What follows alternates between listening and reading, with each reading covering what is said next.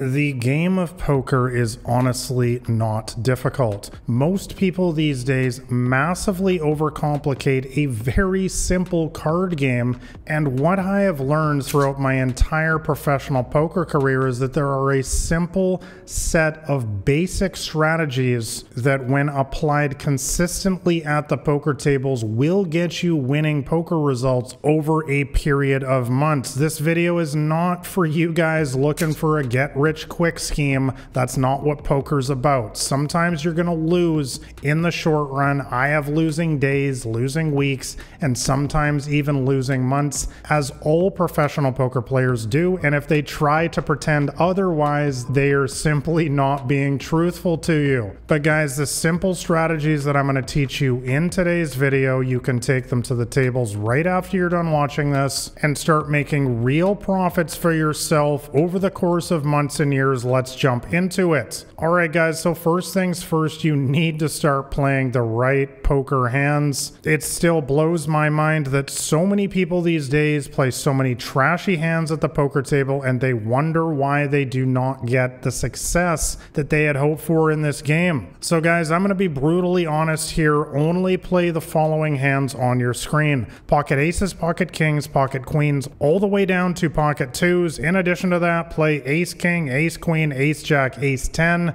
king queen, king jack, queen jack, and only if they're suited. Play jack 10 suited. 10 9 suited, 9 8 suited, 8 9 suited. Guys, I know this is boring. This might sound crazy to some of you guys who are newer to the game, but believe me, this is going to give you a strong mathematical advantage every single time you enter the hand of poker. There is no strategy that I or anyone else can teach you that can beat that. When you have the odds in your favor in this game, you're simply going to win more. As you get more experience at the poker table, you can start adding more hands hands to this list. But if you're struggling right now in poker, you're not getting winning results, just play these hands for now and your results are going to start improving. By the way, I have charts in my free poker cheat sheet, which you can download. If you want to study this in more detail, I'll leave a link to that in the description below. But let's move on to tip number two now, and that is to always raise first in the pot. So guys, you never want to enter a hand of poker showing weakness. Believe me, this is something that professionals like myself can sense right away when somebody does this, and basically it's when they just limp into the pot. I have talked about this in multiple videos here on the channel that you never want to do this. You always want to raise it up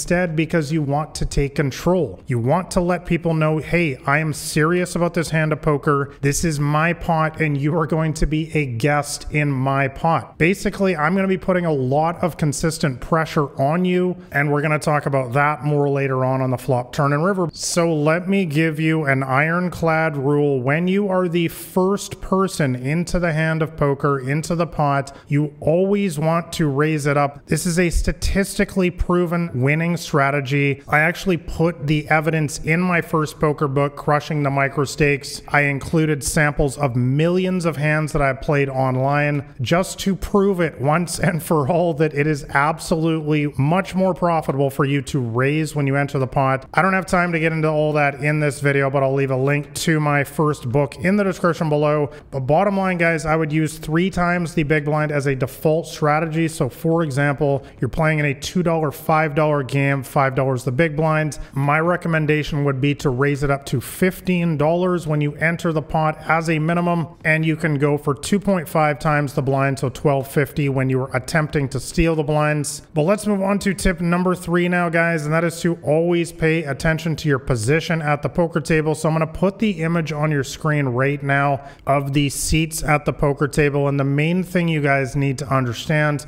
is that the button and the cutoff are by far the most profitable seats at the table. You will make the vast majority of your profits from these two seats. And the reason why is very simple. You get to act last on the flop, turn, and river, which is once again a massively proven statistical advantage. If you play online poker, you can just put your hands in a poker tracking software like PokerTracker, and you can literally go see your results for yourself. Once again, I will include links to the poker tracking software that I use in the description below. But guys, bottom line, when you get to act last in a game of incomplete information like poker, you are always going to have a strong statistical advantage. All poker players know this, so you want to play the majority of your hands when you are seated at either the button or the cutoff, the two most profitable seats at the table. All right, guys, let's move on to the post flop streets now. Tip number four that I have for you is to always apply pressure on the flop. So we already talked about raising it up before the flop, and the reason why is because now we're going to keep our foot on the gas pedal. We're going to continue to make life difficult for them. And let me give you an example. So you raise it up with ace jack offsuit on the button. That's the ace of hearts and jack of spades, and a tag, which stands for tight and aggressive player calls you in the big blind. So the flop comes down with a 10 5 4. We have hit precisely nothing on this board. However, when this player checks to us, what you want to be doing here, guys, is making a C bet, which stands for continuation bets. We are now continuing the aggression that we built before the flop. This is a very strong play in poker. This puts tremendous pressure on them to have a hand. And remember that statistically, two out of every three times they have missed the flop as well.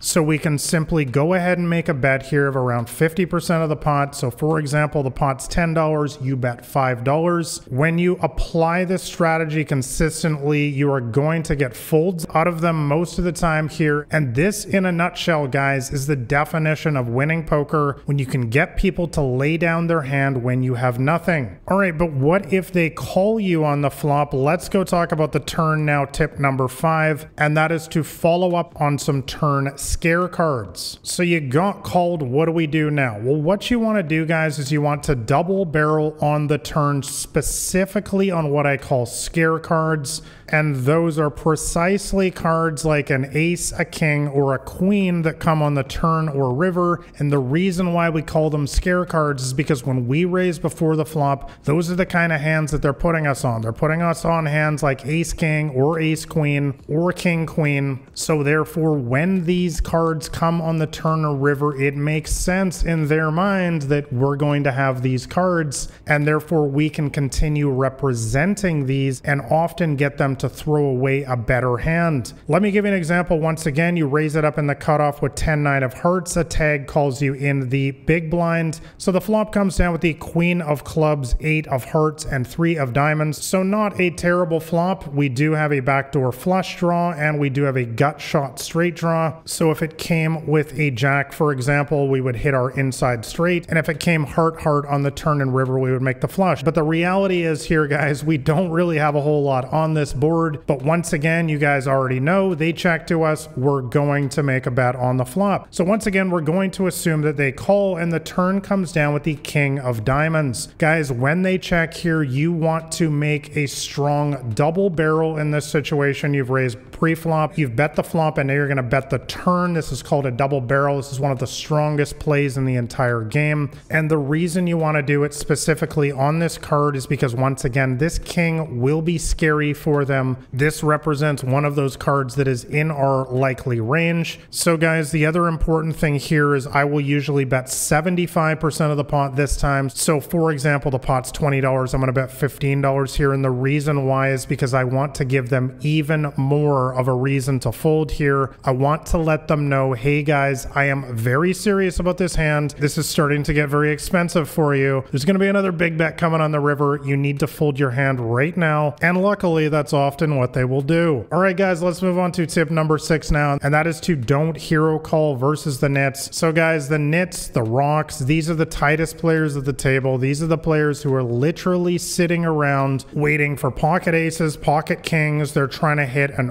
overpair on the flop. They're trying to hit a flush. They're trying to hit a straight. Three of a kind. You guys get the idea. So, people often ask me, what do you do when you get raised? Well, guys, versus the tight players in particular, when you have nothing at all or just one pair. These are the players you want to make the fold against. So this means tags and nits in particular because guys, when they raise you on the turn or river, which is what I call the big money streets, believe me, they are not bluffing you. These players play very robotically, especially especially in today's games, you can actually check their raise flop percentage or even their raise turn percentage, depending on which street you are. If you're using a HUD, once again, I will link up the HUD that I use for online poker in the description below. But if their raise percentage is 15% or less, this indicates exactly this kind of passive player type who is only going to make a raise against you with the nuts or some sort of monster draw. So guys, do not fall into this common trap versus these player types who are literally never bluffing in a situation like this. When these tighter passive players raise you, especially on the turn or river, they're almost never bluffing. If you have nothing at all or even some sort of pair or even an overpair, it is likely that your hand is no good. They are often representing two pair or better. Always be aware of the player type you're up against. By the way, I discuss this in extensive detail in my new Elite Poker Training University. 50 plus videos of advanced poker training, 17 plus hours of lessons. I break down all of my five major poker player types for you. I show you the cutting edge strategies to beat these players in today's games. I have just opened up enrollment. I will leave a link to that in the description below. But let's move on to tip number seven now, and that is to use exploitative bet sizing. So, guys, I have said it again and again. I'm a little bit of a contrarian in the poker community. Do not use GTO style bet sizing in low stakes games. You are literally shooting yourself in the foot because you are trying to play a mathematically balanced play style against non non-thinking recreational players. Instead, you want to be using exploitative bet sizing like I talk about in all of these videos. We've already discussed it in today's video we talked about betting 50% on the flop and 75% on the turn. Guys, bottom line, you do not want to be balancing anything versus weaker poker players who are not paying attention in small stakes games, which is the vast majority of them. You are only costing yourself money. Save the GTO for for mid or high stakes versus good players who will actually understand what you're doing. So, for example, you should often value bet big versus the fish. I will, for example, often bet 80% or more when I have a very strong hand. And when I'm bluffing, I will often just bet 40% or even less to give myself a cheap price to make them go away. I literally wrote an entire book about this. It's called Crushing the Micro Stakes. And this is the reason why I have some of the highest winnings of all time, especially in the small stakes games online. I did not achieve those results by playing a GTO strategy. That is simply a suboptimal strategy in those games. You want to be using exploitative bet sizing, especially against the weaker players. But let's move on to tip number eight now, guys, and that is to bet or raise with your draws. So, guys, good players don't just call with their draws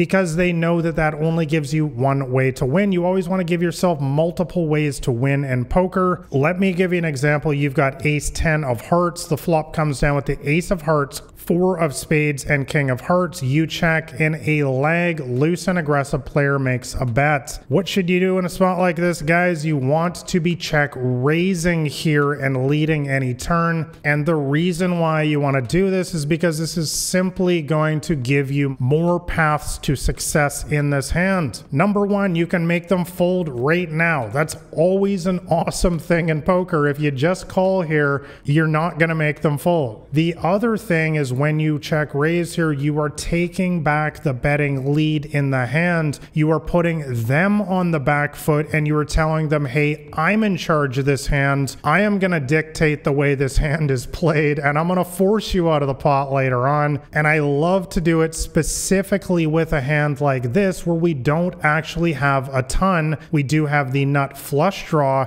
But if this player, for example, decides to go all in on the flop, I'm not going to be crying about having having to throw away my hand here. Whereas if I had a hand like King Queen, for example, which is a much higher value hand in this situation, that's a much more difficult spot. So guys, with your draws in particular against bluff heavy player types like the loose and aggressive, an excellent strategy is to play these hands very aggressively, give yourself more ways to win the pot, and you're going to have a lot more success. All right, guys, my number one tip that I have for you is to simply have fun. Guys, too many people these days take this game way too seriously. Guys, believe me, from my 10 plus years as a professional, I have had countless ups and downs in this game. I have gone through stretches for weeks or even months at a time where it felt like I would never win another hand again. And it is only by keeping it lighthearted and learning to take all the bad beats and the adversity in stride in this game that has kept me playing, that has kept my sanity, and allowed me to become a long term winner. You need to understand that you can never win every single hand. They are going to get lucky against you again and again. This is simply how the game is set up. It's how it is meant to be so that the bad players can get lucky sometimes, which allows them to keep coming back for more, putting more money into the game, which ultimately fuels your profits. Guys, never take yourself too seriously in this game. Use the simple tips in this video and you're going to have success over the long run. All right, guys, like and subscribe if you found this video helpful. And if you want to know my entire strategy to start beating the small and mid stakes games, make sure you grab a copy of my free poker cheat sheet. That will be the top link in the description below. Thanks a lot for watching, guys. I will catch you next time.